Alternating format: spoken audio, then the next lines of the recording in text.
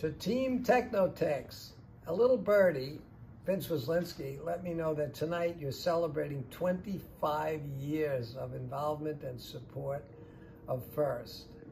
A particular shout out to Mr. Derry and Mr. Goss are the very least we can do for their incredible long-term support for your team and for this organization. I hope you have a great celebration and I hope the Technotex continue to be a driving force in your community and a model for the rest of First and the world in what happens when you get the right people together to do the right things for the future. So congratulations, Technotex.